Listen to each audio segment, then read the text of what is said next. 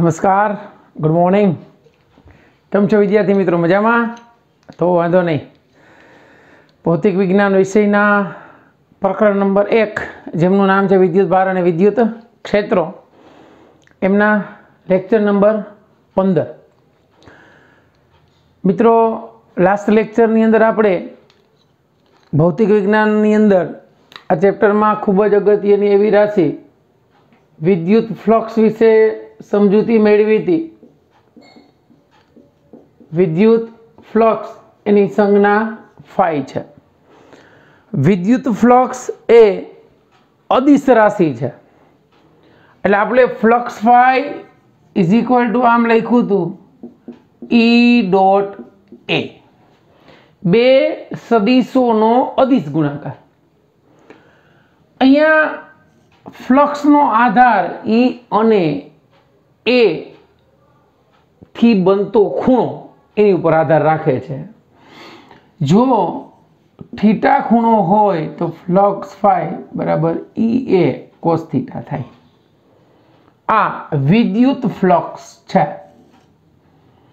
ફ્લક્સનો એકમ, ફાઈનો એકમ આપણે જોયો હતો ફ્લક્સનો એકમ છે ન્યૂટન મીટર સ્ક્વેર પ્રતિ કુલમ અથવા તો એનો બીજો એકમ હતો વોલ્ટ ઇન્ટુ મીટર. મેં તમને દાખલા આપ્યા હતા હોમવર્કમાં એના આન્સર અહીંયા લખેલા છે. તો આ વિદ્યુત ફ્લક્સ જે છે, એના ઘણા બધા દાખલાઓ જે છે, એ આપણે પાછળ હજી ગણીશું. આમાં ગાઉસનું પ્રમેય આવશે, એનો ઉપયોગ કરી અને ફ્લક્સ કઈ રીતે મેળવવું, એના દાખલાઓ જે છે ઘણા બધા આપણે નિરાતે સમજીશું. આજે આપણે સમજવાનું છે વિદ્યુત ડાયપોલ. બરાબર સમજજો. વિદ્યુત ડાયપોલ એટલે શું? વિદ્યુત, એટલે તો આપણને ખબર છે, ડાય એટલે બે. અને પોલ એટલે ધ્રુવ. બે ધ્રુવોથી બનતી રચના એને વિદ્યુત ડાયપોલ કહેવાય. તો એની વ્યાખ્યા એ લખું છું, બરાબર સમજજો. વિદ્યુત ડાયપોલની વ્યાખ્યા. એકબીજાથી પરિમિત અંતરે રહેલા એકબીજાથી પરિમિત અંતરે રહેલા. પરિમિત એટલે માપી શકાય એવું અંતર. એકબીજાથી પરિમિત અંતરે રહેલા સમાન મૂલ્યના, બંનેનું મૂલ્ય સમાન સમાન મૂલ્યના અને વિરુદ્ધ વીજભાર વિરુદ્ધ વીજભારોથી બનતા તંત્રને વિદ્યુત ડાયપોલ કહે છે. અથવા તો એને વિદ્યુત દ્વિધ્રુવ કહેવાય. વિદ્યુત દ્વિધ્રુવ અથવા વિદ્યુત દ્વિધ્રુવી. જેને બે ધ્રુવ છે એને વિદ્યુત ડાયપોલ કહેવાય. એકબીજાથી પરિમિત અંતરે રહેલા. માઇનસ ક્યુ અને પ્લસ ક્યુ. એકબીજાથી પરિમિત અંતરે રહેલા. બે વિદ્યુત ભારો. કે જે સમાન મૂલ્યના છે. બેનું મૂલ્ય સમાન છે. આ બે માઇક્રોકુલમ તો આ બે માઇક્રોકુલમ. વિરુદ્ધ વીજભારો. એક ધન છે, એક ઋણ. એનાથી બનતું તંત્ર, એને કહેવાય વિદ્યુત ડાયપોલ. ક્લિયર આ બે વીજભારો વચ્ચેનું અંતર એને આપણે કહીએ ટુ એ. આ ડાયપોલનું મધ્ય બિંદુ છે, ઓ. એ ડાયપોલનું મધ્ય બિંદુ તો આ બાજુનું અંતર એ થયું, આ બાજુનું અંતર એ થયું. સંજ્ઞા પ્રણાલી મુજબ ગણો તો આ ઋણ થાય ના ધન થાય. એકબીજાથી પરિમિત અંતરેલા સમાન મૂલ્યના અને વિરુદ્ધ વીજભારોથી બનતું તંત્ર અને વિદ્યુત ડાયપોલ કહેવાય. એટલું સમજાણું? આ વિદ્યુત ડાયપોલની વ્યાખ્યા દ્વિધ્રુવ. આવી ચતુર્થ ધ્રુવ આવે, બે ડાયપોલને પરસ્પર વિરુદ્ધ દિશામાં ગોઠવી દેવાની. તો ચતુર્થ ધ્રુવ બને. ક્વાડ્રુપોલ જેને કહેવાય. આને બે વીજભાર વચ્ચેનું અંતર થયું આ. આ એનું મધ્ય બિંદુ થયું. બરાબર? હવે ધ્યાન આપજો. વિદ્યુત ડાયપોલ ઉપરથી આવશે એક અગત્યની રાશિ. વિદ્યુત ડાયપોલ મોમેન્ટ. વિદ્યુત ડાયપોલ મોમેન્ટ. મોમેન્ટ એટલે ચાક માત્રા વિદ્યુત ધ્રુવ ચાક માત્રા. એની સંજ્ઞા પી છે. વિદ્યુત ડાયપોલ મોમેન્ટ એ સદિશ રાશિ છે.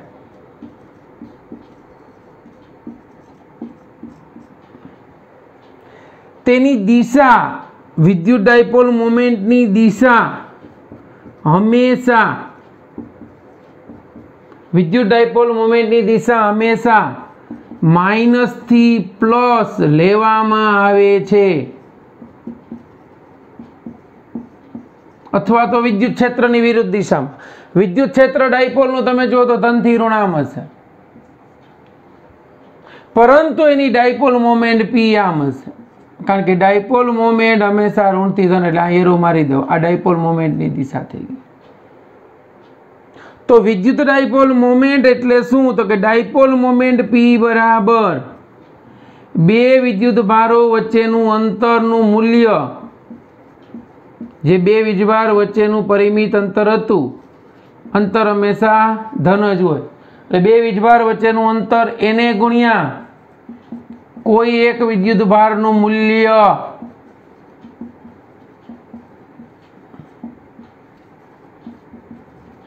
આને કહેવાય ડાયપોલ મોમેન્ટ. તો ડાયપોલ મોમેન્ટ પી બરાબર બે વીજભાર વચ્ચેનું અંતર ટુ એ હું સદિશ સ્વરૂપે લઉં ઇન્ટુ ક્યુ આનું મૂલ્ય. આ થઈ ગઈ ડાયપોલ મોમેન્ટ. વિદ્યુત ડાયપોલ મોમેન્ટ બરાબર ટુ એ ઇન્ટુ ક્યુ. તો વિદ્યુત ડાયપોલ મોમેન્ટ આપણે લખી પી તો આ ડાયપોલ મોમેન્ટ સદિશ રાશિ છે, આની દિશા હંમેશા માઇનસથી પ્લસ હોય. હવે હવે તો કે પી નો એકમ. તો ટુ એનો એકમ કુલમ થાય વિદ્યુત ભારનો ટુ એનો એકમ મીટર થાય. અને વિદ્યુતભારનો એકમ કુલમ એટલે કુલમ ઇન્ટુ મીટર. પીનું પારિમાણિક સૂત્ર કુલમનું એ વન ટી વન ને મીટરનું એલ વન આ ડાયપોલ મોમેન્ટનું પારિમાણિક સૂત્રીય આ ડાયપોલ મોમેન્ટનું એકમ કુલમ ઇન્ટુ મીટર.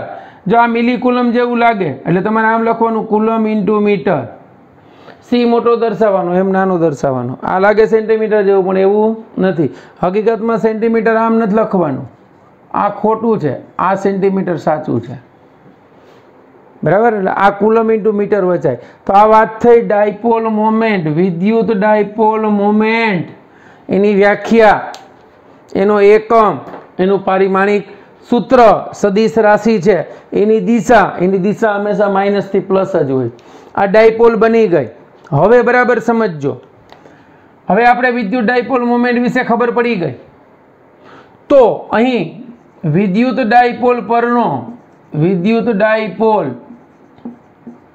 પરનો કુલ વિદ્યુત ભાર, જોજો, વિદ્યુત ડાયપોલ પરનો કુલ વિદ્યુત ભાર હંમેશા કેવો હોય છે? શૂન્ય હોય છે. કારણ કે એને વિદ્યુત ડાયપોલ જ એને જ વિદ્યુત ડાયપોલ કહેવાય. સમાન મૂલ્ય અને પરસ્પર વિરુદ્ધ વીજભાર હોય. એટલે તમે કુલ વીજભાર કરો ક્યુ ટોટલ તો એક માઇનસ ક્યુ અને બીજો plus Q is equal to zero વિદ્યુત ડાયપોલ પરનું વિદ્યુત ક્ષેત્ર. વિદ્યુત ડાયપોલનું વિદ્યુત ક્ષેત્ર. શૂન્ય હોતું નથી. વિદ્યુત ડાયપોલનું કુલ વિદ્યુત ક્ષેત્ર E total not is equal to zero શું કામ? શું કામ? તો કે વિદ્યુત ભારોના સ્થાન અલગ અલગ છે.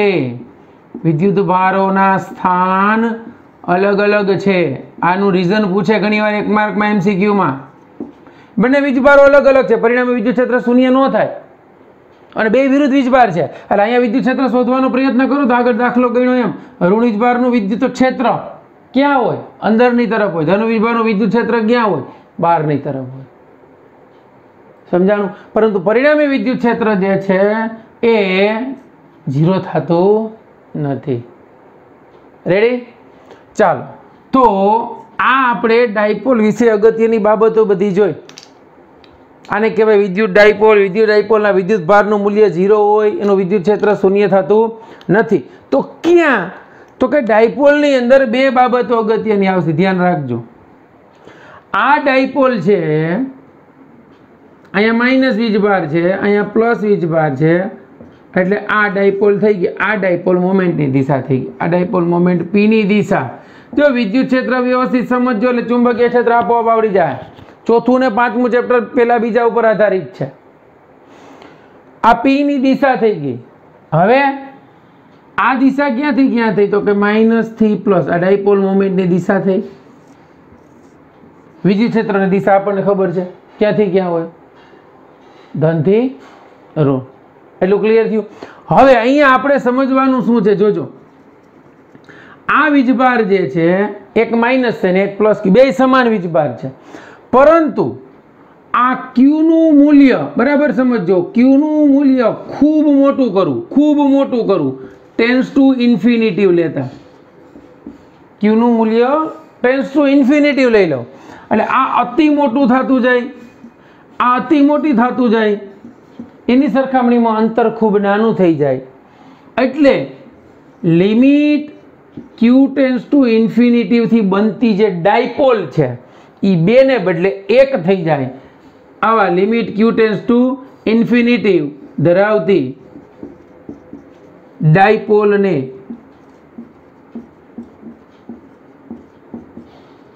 બિંદુ ડાયપોલ કહે છે, પોઈન્ટ ડાયપોલ. એમાં ક્યુ ટેન્સ ટુ ઇન્ફિનિટિવ તથા ટુ એ ટેન્સ ટુ લગભગ ઝીરો બે જ વાર વચ્ચેનું અંતર લગભગ ઝીરો થઈ જાય અને વિદ્યુતભારનું મૂલ્ય ખૂબ મોટું થઈ જાય, ત્યારે બનતી ડાયપોલ જે છે ને બિંદુવત ડાયપોલ કહે છે. વાત એ હતી કાંઈ વિદ્યુત ક્ષેત્ર ક્યાં શોધવાનું છે? તો કે આમાં બે રીતે વિદ્યુત ક્ષેત્ર શોધવાનું આવે. એક, આ જે ડાયપોલ દોરી છે, આ આ એની ઓક્સ કહેવાય. એક ઓક્ષ ઉપર વિદ્યુત ક્ષેત્રનું સમીકરણ.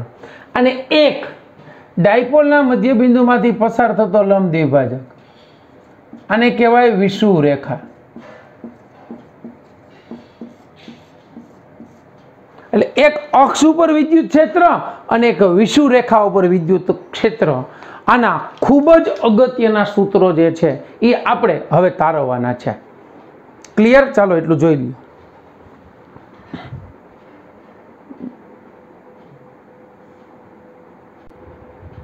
ચાલો.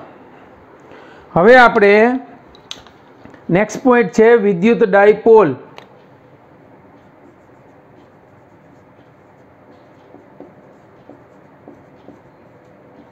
ની અક્ષ પરના બિંદુએ વિદ્યુત ક્ષેત્રનું સૂત્ર. જો, પેલા તો આપણે ડાયપોલ દોરી લઈએ ગમે એમ દોરી શકીએ. અહીંયા પ્લસ ક્યુ કહું છું. અહીંયા માઇનસ ક્યુ કહી દો રેડી આ ડાયપોલનું અંતર થઈ ગયું. બે બે વિદ્યુત ભારો વચ્ચેનું અંતર, ટુ એ. આ ડાયપોલનું મધ્ય બિંદુ છે. એટલે આ અંતર કેટલું થાય? તો કે એ. અને આ કેટલું થાય? તો કે એ. ડાયપોલની અક્ષ, એટલે ડાયપોલમાંથી પસાર થતી રેખા. આને કહેવાય ડાયપોલની અક્ષ. બરાબર? અક્ષ ઉપરનું કોઈ એક બિંદુ છે અહીંયા. જેનું ડાયપોલના કેન્દ્રથી અંતર આર છે. જો આ ડાયપોલની અક્ષ છે. બરાબર? આ ડાયપોલમાંથી પસાર થતી અક્ષ છે. બિંદુ પી પાસે વિદ્યુત ક્ષેત્ર શોધવાનું છે. અહીં ઓ થી આર અંતરે આવેલા બિંદુ પાસે વિદ્યુત ક્ષેત્ર શોધવું છે. આપણે તો અક્ષ બિંદુ પાસે શોધવાનું છે ને, તો મેળવી લઈએ એમાં શું? બરાબર? ચાલો. તો અહીંયા તમે વિચારો તો આપણે કાંઈ કરવાનું નથી. ડાયપોલ છે તો ડાયપોલમાં વિદ્યુત ભારો બે છે. એક ધન અને એક ઋણ. આપણે કાંઈ કરવાનું શું છે? આપણે તો સંપાદપણાનો સિદ્ધાંત ને કુલમનો નિયમ લાગુ પાડી અને પરિણામે વિદ્યુત ક્ષેત્ર મેળવવાનું છે. તો બે વીજભાર છે, તો આ વિદ્યુત ભારથી આ અંતર તમે ગણો. તો અહીંથી આર છે, આ એ છે, એટલે આ અંતર પ્લસ ક્યુથી થયું? R minus A. આ અંતર આર માઇનસ એ થયું. અને આ વિદ્યુત ભારથી આ જે અંતર છે એ થયું આર પ્લસ એ ખબર પડી? આ અંતર અહીંથી અહીં સુધીનું આર છે. તો આ એ છે, તો આટલું અંતર આર માઇનસ એ થાય. આ આર છે, આ એ છે, તો આ અંતર આર પ્લસ એ થાય. હવે હવે તો કે આપણી પાસે કયો વીજભાર છે ભાઈ? તો કે આ ધન વીજભાર છે. આ આ તો કે આ ઋણ વીજભાર છે. ધન વીજભારનું વિદ્યુત ક્ષેત્ર પી બિંદુ પાસે ગણો, તો ધન વીજભારનું વિદ્યુત ક્ષેત્ર બહારની તરફ હોય એટલે અહીંયા આની અડે આમ વિદ્યુત ક્ષેત્ર આવશે. આ આ એવું તમારું ઈ પ્લસ ક્યુ ધન વીજભારનું બાર. ઋણ વીજભારનું વિદ્યુત ક્ષેત્ર પી બિંદુ પાસે આમ હશે. આ તમારું ઈ માઇનસ ક્યુ હશે. શું કામ? તો કે ઋણ વીજભારનું વિદ્યુત ક્ષેત્ર અંદરની તરફ હોય, ધનનું બાર. પણ ધન વીજભારનું અંતર આર માઇનસ એ છે અને ઋણ વીજભારનું અંતર આર પ્લસ એ છે. તો વિદ્યુત ભારનું, વિદ્યુ બિંદુવાદ વિદ્યુત ભારનું વિદ્યુત ક્ષેત્ર ઈ બરાબર K Q by R square છે. આર ઓછો એની અસર વધારે. એટલે ધનની અસર વધારે, એટલે પરિણામી વિદ્યુત ક્ષેત્ર આ તરફ હશે. એટલે પરિણામી વિદ્યુત ક્ષેત્ર જે છે એનું આમ છે. ડાયપોલ મોમેન્ટ માઇનસથી પ્લસ હોય આમ હશે. ડાયપોલ મોમેન્ટ માઇનસથી પ્લસ સોરી માઇનસ આ બાજુ છે. એટલે ડાયપોલ મોમેન્ટ આ ડાયપોલની આમ જ હશે. મતલબ આ દિશા એ વિદ્યુત ક્ષેત્રની છે, પરિણામી.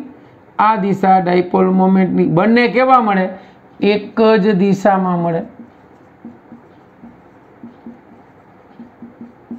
મતલબ ડાયપોલની અક્ષ પરનું વિદ્યુત ક્ષેત્ર હંમેશા ડાયપોલ મોમેન્ટની દિશામાં જ હોય છે. આપણે હવે સાબિત કરીએ. અહીં. પ્લસ ક્યુના લીધે. પ્લસ ક્યુના લીધે પી બિંદુ પાસે વિદ્યુત ક્ષેત્ર E plus Q is equal to કેટલું થાય આ સૂત્ર મુજબ? કે ક્યુ એના છેદમાં આર માઇનસ એનો સ્ક્વેર આ વિદ્યુત ક્ષેત્ર ક્યાં હશે? તો કે આ બિંદુને હું એ કહી દઉં આને બી કહી દઉં. તો વિદ્યુત ક્ષેત્ર આમ હશે ધન વીજભારનું. કઈ દિશામાં? બી ટુ એ દિશામાં. આનું વિદ્યુત ક્ષેત્ર બી એની દિશામાં હશે. તથા માઇનસ ક્યુના લીધે માઇનસ ક્યુના લીધે પી બિંદુ પાસે વિદ્યુત ક્ષેત્ર, ચાલો. E minus Q is equal to K Q, એના છેદમાં. શું થશે? આર પ્લસ એનો સ્ક્વેર. ઈ ક્યાં હશે? તો ઈ એ બીની દિશામાં હશે.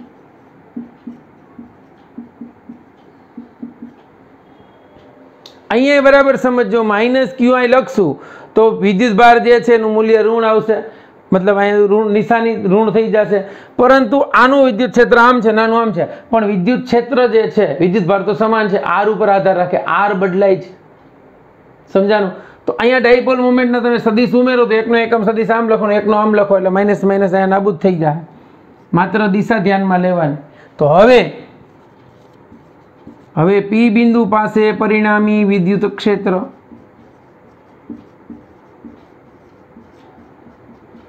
ચાલો, પરિણામી વિદ્યુત ક્ષેત્રનું જો તમે મૂલ્ય વિચારો, તો પરિણામી વિદ્યુત ક્ષેત્ર ઈ ઇઝ ઇક્વલ ટુ સદિશ સ્વરૂપે લખો તો કંઈ વાંધો નથી. E is equal to E plus Q plus E minus Q આ પરિણામી વિદ્યુત ક્ષેત્રનો સદિશ સરવાળો થાય. એમાં નાનો પડાય તો પરિણામી વિદ્યુત ક્ષેત્ર ઈ ઓફ પી અક્ષ પરના બિંદુ પાસે કે ક્યુ એના છેદમાં પ્લસના લીધે કેટલું છે? આર માઇનસ એનો સ્ક્વેર માઇનસ કે ક્યુ એના છેદમાં આર પ્લસ એનો સ્ક્વેર આવું શું કામ થયું ભાઈ? કેમ? તો કે આનું વિદ્યુત ક્ષેત્ર આ જે છે એ આમ છે, નાનું આમ છે. માટે એક ધન લીધું ને એક ઋણ. તો અહીંયા હવે હવે અહીંયા સદિશ લખ્યું તો પરિણામી વિદ્યુત ક્ષેત્ર કઈ દિશામાં છે? પરિણામી વિદ્યુત ક્ષેત્ર આ દિશામાં, મેં તમને કીધું. તો એ દિશા કઈ છે? ડાયપોલ મોમેન્ટની દિશા. એ દિશાનો એકમ સદિશ લખી નાખું પી કેરેટ ક્લિયર એટલું? સદિશ સ્વરૂપે દિશા દર્શાવી દીધી આપણે. તો હવે પી બિંદુ પાસે વિદ્યુત ક્ષેત્ર E P is equal to K Q common કાઢ લઉં. તો અહીંયા બધું વન અપન આર માઇનસ એનો square minus one upon R plus એનો square dipole moment P E P is equal to સાદુરૂપ આપો કે ક્યુ એમ નામ લસા લઈ લો આર પ્લસ એનો સ્ક્વેર માઇનસ આર માઇનસ એનો સ્ક્વેર એના છેદમાં આનો લસા થશે R square minus A square no square simple નિયમ છે, બરાબર? એ પ્લસ એ માઇનસ બીનો સ્ક્વેર ને એ પ્લસ બીનો સ્ક્વેર બરાબર એ સ્ક્વેર માઇનસ બી સ્ક્વેરનો હોલ સ્ક્વેર થાય. તો હવે હવે વિદ્યુત ક્ષેત્રનું, પરિણામી વિદ્યુત ક્ષેત્રનું સૂત્ર અહીંયા લખી શકીએ આપણે. કે વિદ્યુત ક્ષેત્ર પરિણામી E of P is equal to K Q સાદુરૂપ આપો R plus A સ્ક્વેરનું R square plus two R A plus A square આનું સાદુરૂપ આપું માઇનસ આર સ્ક્વેર અહીંયા ટુ આર એ આવશે હજી. Minus two R A plus A square. હજી તો આ બે કાઉન્સનું સાદુરૂપ આપ્યું અંશમાં. છેદમાં આર સ્ક્વેર માઇનસ એ સ્ક્વેરનો હોલ સ્ક્વેર ઇન્ટુ આની ડાયરેક્શન લખવી તો P caret. E of P is equal to KQ R square plus 2RA plus A square અહીં માઇનસ વડે ગુણ નાખું minus R square minus minus plus two R A minus A square એના છેદમાં R square minus A સ્ક્વેરનો whole square into P caret R square આ બને ગયા આ બને વહી ગયા તો E of P is equal to KQ 4RA એના છેદમાં R square minus A સ્ક્વેરનો square into P caret P બિંદુ પાસે વિદ્યુત ક્ષેત્ર E P is equal to K Q એમનમ આ ચારને આમ ભાગ કરી નાખીએ, બે ગુણ્યા બે, ટુ આર એ એના છેદમાં r square minus a square into p caret E of p is equal to k જોજો હવે. ક્યુ ટુ અને એ મતલબ આ two a into q two a into q થાય? તો આ ટુ લઈ લીધા એ લઈ લીધા ક્યુ લઈ લીધા. તો અહીંયા આ ટુ એ ક્યુનો મતલબ શું થઈ ગયું? ટુ એ ક્યુ એટલે ડાયપોલ મોમેન્ટ પી હજી શું વધ્યું? ઇન્ટુ ટુ આર એના છેદમાં r square minus a square no whole square અહીં રહી ગયો. ઇન્ટુ પી કેરેટ આના બરાબર, તો ડાયપોલ મોમેન્ટ પી હમણાં જ લખ્યું આપણે ટુ એ ક્યુ તો E p is equal to અહીંયા ટુ કે પી આર એના છેદમાં r square minus a square whole square p caret આ થઈ ગયું અક્ષ પરના બિંદુએ પરિણામી વિદ્યુત ક્ષેત્રનું સમીકરણ. ક્યાં? તો કે અક્ષ બિંદુ પી પાસે વિદ્યુત ક્ષેત્રનું સમીકરણ થઈ ગયું. હવે હવે આપણને એમ થાય કે સર અહીંયા જો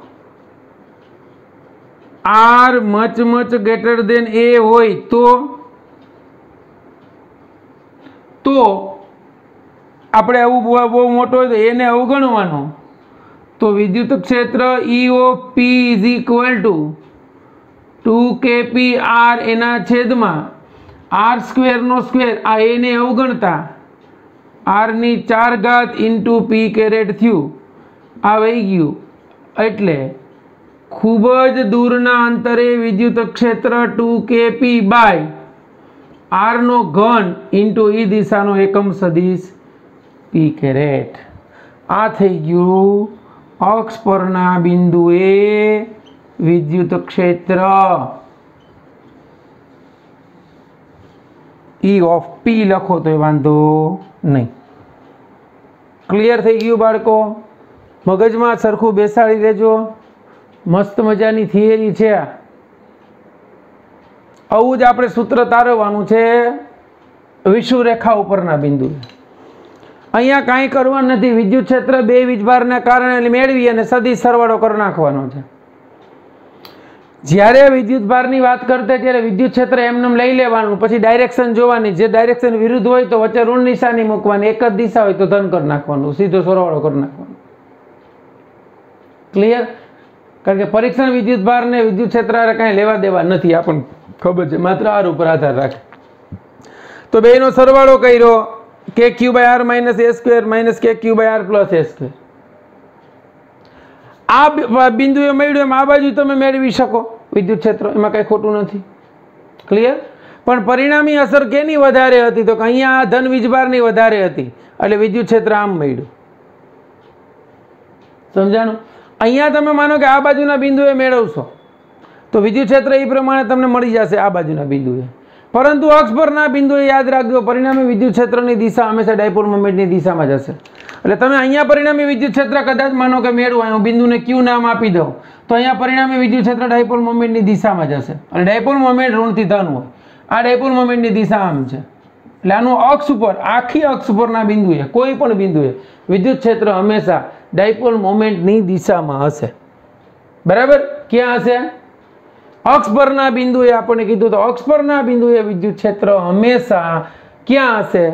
તો અક્ષ પરના બિંદુએ વિદ્યુત ક્ષેત્ર હંમેશા તમારે લખવું તો લખી નાખીએ આપણે. હંમેશા. વિદ્યુત ડાયપોલ મોમેન્ટની દિશામાં હશે.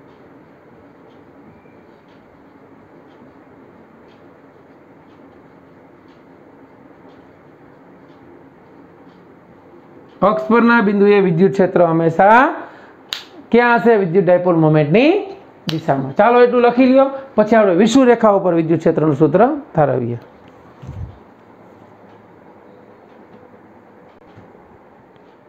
ઓકે. વિદ્યુત ડાયપોલના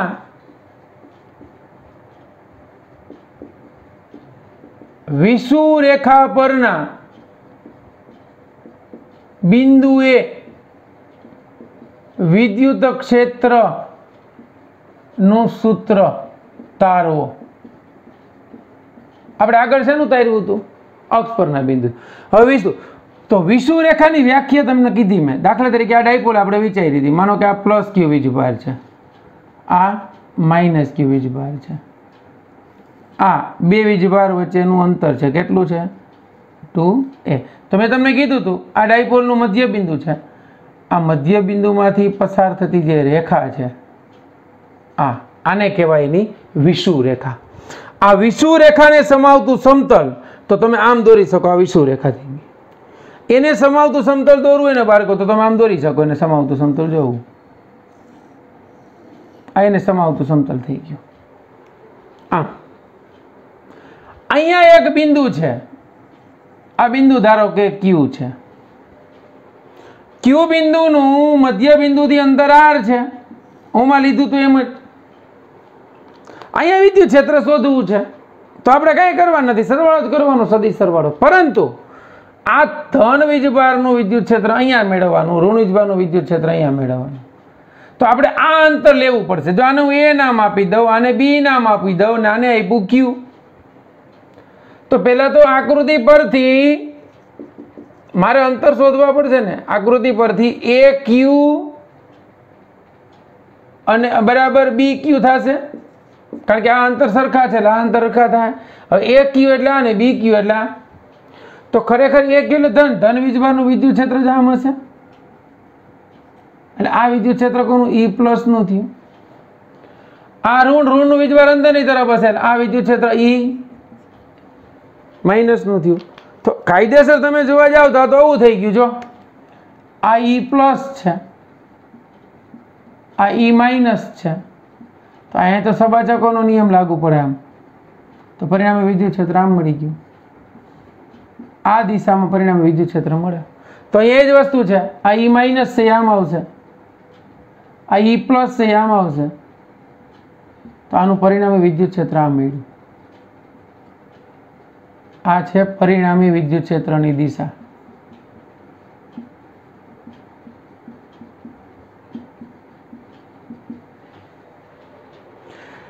આ આર છે. આ અંતર એ હોય આપણને ખબર, જોજો. જો પરિણામી વિદ્યુત ક્ષેત્રની દિશા ક્યાં મળી? આમ મળી. આ માઇનસ છે, પ્લસ એટલે ડાયપોલ મોમેન્ટ. તો આની ડાયપોલ મોમેન્ટની દિશા પી એ આમ છે. B two a dipole moment b two a છે. આના વિદ્યુત ક્ષેત્રની દિશા મળી એ ટુ બી મગજમાં વાક્ય યાદ રાખી લેજો એક. શું? કે વિષુ રેખાઓ પરના કોઈ પણ બિંદુએ વિદ્યુત ક્ષેત્ર હંમેશા ડાયપોલ મોમેન્ટની વિરુદ્ધ દિશામાં હોય. અહીંયા ઋણ નહીં, ધન લીધો હોત, તો પરિણામે વિદ્યુત ક્ષેત્ર આ દિશામાં આવે. બરાબર? હવે વિદ્યુત ક્ષેત્ર શોધવાનું છે. પ્લસ ક્યુ થી આ અંતર ગણું એ ક્યુ તો a q is equal to under root of આનો વર્ગ r square plus a square થાય. અને બી ક્યુ બરાબર પણ શું થશે? R square plus a square તો હવે આગળની જેમ જ, હવે ક્યુ બિંદુ પાસે વિદ્યુત ક્ષેત્ર શોધવું છે. આપણે ઓમાં પી બિંદુ કીધું તો આને ક્યુ કીધું. તો અહીં પ્લસ ક્યુના લીધે, પહેલાં તો કોના લીધે? પ્લસ ક્યુના લીધે. ક્યુ બિંદુ પાસે? વિદ્યુત ક્ષેત્ર, અંતર ખબર પડી ગઈ? આર યુ કેટલું થશે? E plus is equal to k q એના છેદમાં. Under root of r square plus a square no whole square તો વર્ગમૂળનો વર્ગ, એટલે વર્ગમૂળ નીકળી જાય ખાલી. તો r square plus a square આ વિદ્યુત ક્ષેત્ર ઈ પ્લસનું મળ્યું. તથા માઇનસ કેવું વિદ્યુત ભારના લીધે? લાગતું બળ? સોરી, માઇનસ ક્યુ વિદ્યુત ભારના લીધે વિદ્યુત ક્ષેત્ર?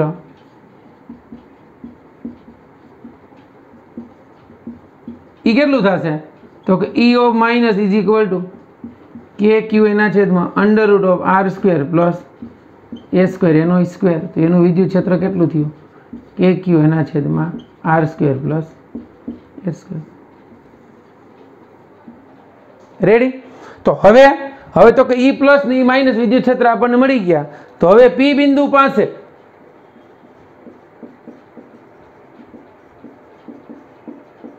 પરિણામી વિદ્યુત ક્ષેત્ર E ઇઝ ઇક્વલ ટુ જોજો E is equal to E plus plus E minus પરંતુ આ ડાયપોલ મોમેન્ટ છે માઇનસ ક્યુથી પ્લસ ક્યુ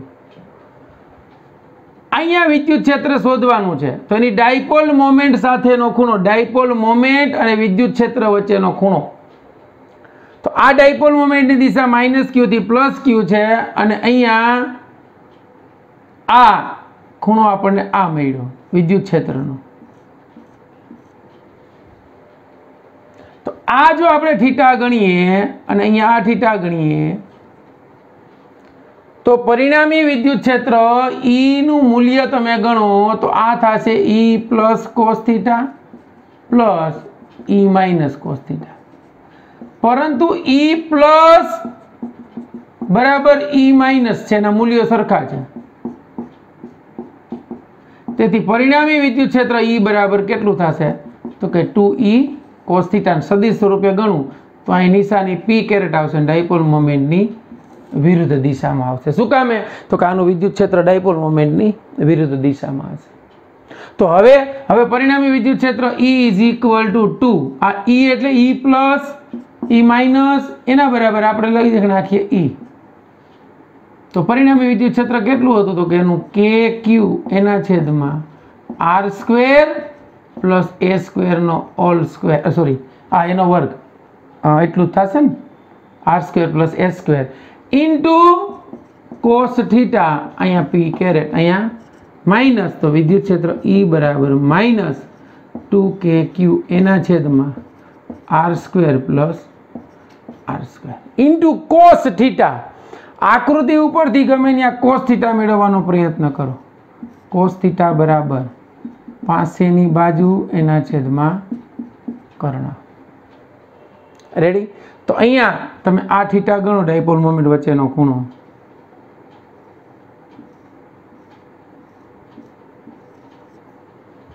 તો શું થશે? કોસ થીટા બરાબર પાસેની બાજુ એટલે એ અને કર્ણ એટલે આર કોસ થીટા એટલે એના છેદમાં આર. અને એ ક્યુ ને બી ક્યુ એના બરાબર આ છે. એ ક્યુ એટલે આ અંતર હતું. બી ક્યુ એટલે આ હતું.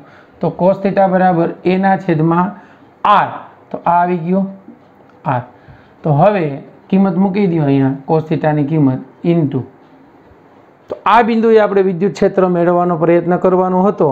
તો એ અંતર આપણને કેટલું મળ્યું? સામેની પાસેની બાજુ છેદમાં કર્ણ મળ્યો ને. કર્ણ આર નહીં થાય.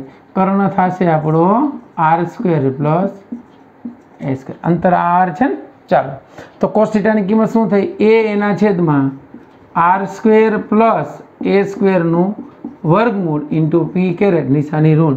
તો વિદ્યુત ક્ષેત્ર ઈ ઓફ ક્યુ લખો તો એ વાંધો નથી હવે minus two q a into k એના છેદમાં R square plus A સ્ક્વેરની three by two into p caret three by two કેમ આવી તો કે આની એક ઘાત અને આની one half one plus one half is equal to three by two તો ક્યુ બિંદુ પાસે પરિણામી વિદ્યુત ક્ષેત્ર તમને મળી ગયું. E q is equal to two a q એટલે પી માઇનસ કે પી એના છેદમાં આર સ્ક્વેર પ્લસ એ સ્ક્વેરની થ્રી બાય ટુ ઈ દિશાનો એકમ સદિશ પી કેરેટ. તો આ તમને મળી ગયું ક્યાં? તો કે વિષુવૃત પરના કોઈ પણ બિંદુ પાસે પરિણામી વિદ્યુત ક્ષેત્ર. ક્લિયર એટલું? તો અહીંયા આ પરિણામી વિદ્યુત ક્ષેત્ર તમને મળ્યું ડાયપોલના લીધે વિષુવૃત પરના બિંદુ. આ ખૂણો આપણે થીટા ધાર્યો એટલે આના બે ઘટકો મળ્યા. ઈ પ્લસનો એક ઘટક થાય ઈ કોસ થીટા અને બીજો થાય ઈ સાઇન થીટા એ જ રીતે ઈ માઇનસના બે ઘટક થાય. એક ઈ કોસ થીટા અને બીજો ઈ સાઇન થીટા. આ બે ઘટક એકબીજાને અસર નાબૂદ કરે એટલે પરિણામે વિદ્યુત ક્ષેત્ર માત્ર કોષ ઘટકના કારણે જ મળે. કારણ કે ઈ તો સરખું છે. તો આનો સાઇન ઘટક આવશે અને આનો સાઇન બે એક પરસ્પર વિરુદ્ધ દિશામાં આવશે. એટલે ઝીરો થઈ જાય. માત્ર કોષ ઘટકના કારણે મળશે. માટે અહીંયા આપણે વિદ્યુત ક્ષેત્ર જે છે એના કોષ ઘટકનો સરવાળો લીધો. તો એના ઉપરથી આપણને આવું મળ્યું. અહીંયા સદી સ્વરૂપે લખ્યું એટલે ડાયપોલ મોમેન્ટ આવી ગઈ. આ ડાયપોલ મોમેન્ટની વિરુદ્ધ દિશામાં છે, કારણ કે આની ડાયપોલ મોમેન્ટ આમ છે, આ વિદ્યુત ક્ષેત્ર આમ મળ્યું. એટલે વિષુરેખા ઉપરના બિંદુએ વિદ્યુત ક્ષેત્રનું સમીકરણ E q is equal to minus k p by r square plus a સ્ક્વેરની three by two into p caret થાય. હવે માનો કે આપણને એમ કહીએ કે ભાઈ અંતર ઘણું બધું વધારે હોય, એટલે એમ કહી શકીએ કે જો r much much greater than a હોય. એટલે વિષુરેખા ઉપરનું અંતર ઘણું બધું વધારે હોય ડાયપોલના જે અંતરની સરખામણીમાં. તો એને અવગણો. એને અવગણો તો વિદ્યુત ક્ષેત્ર E q is equal to minus k p એના છેદમાં આર સ્ક્વેર એને અવગણ્યો. એની three by two into p caret તો એના ઉપરથી વિદ્યુત ક્ષેત્ર E q is equal to minus k p by આ થ્રી બાય ટુ વર્ગ વયો ગયો કન વૈધો પી કેરેટ આ થઈ ગયું વિદ્યુત ડાયપોલની વિષુરેખા પરના બિંદુએ. વિદ્યુત ડાયપોલની વિષુરેખા પરના બિંદુએ.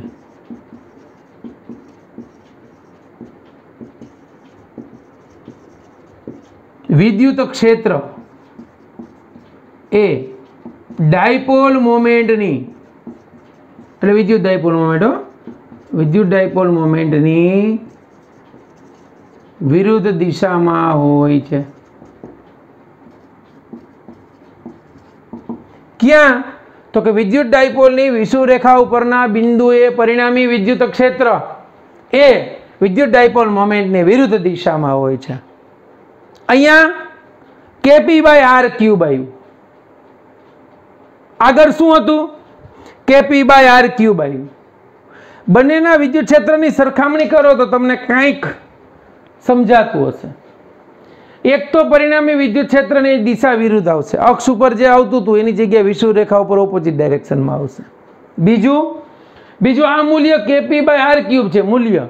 આ મૂલ્ય two k p by r cube છે. એના ઉપરથી કહી શકાય કે અક્ષ પરનું વિદ્યુત ક્ષેત્ર ઓથી જે અંતરે અક્ષ પરનું વિદ્યુત ક્ષેત્ર હોય એ જ અંતરે ઓથી વિષુવ રેખા ઉપર વિદ્યુત ક્ષેત્ર શોધવામાં આવે, તો એ અડધું થઈ જાય છે. એટલે અક્ષ પરનું વિદ્યુત ક્ષેત્ર સમાન અંતરે. કે વિષુવ રેખા પરના સમાન અંતરે આવેલા બિંદુના વિદ્યુત ક્ષેત્ર કરતાં બમણું હોય છે. આનું અડધું હોય છે. ક્લિયર થઈ ગયું? કે નોટ તો આ થઈ ગયું. ડાયપોલ એટલે શું? અને ડાયપોલના અક્ષ પરના બિંદુ અને વિષુરેખા રેખા પરના એ વિદ્યુત ક્ષેત્ર. ઈ જે વિદ્યુત ક્ષેત્ર જે છે એ, યાદ રાખજો ખાસ, અહીંયા વિદ્યુત ક્ષેત્ર એ વન અપન આર ક્યુબ અનુસાર બદલાય છે. જ્યારે બિંદુવત વિદ્યુત ભાર હોય તો વિદ્યુત ક્ષેત્ર કે ક્યુ બાય આર સ્ક્વેર મુજબ બદલાતું હતું. એટલે ડાયપોલનું વિદ્યુત ક્ષેત્ર વન અપન આર ક્યુબ મુજબ બદલાય. બેમાં જો આર ક્યુબ છે. ક્લિયર આ એની દિશાનો એકમ સદિશ છે. એ તમે ડાયપોલ મોમેન્ટ પી લખી શકો અથવા તમારે આર લખો હોય તો લખી શકો.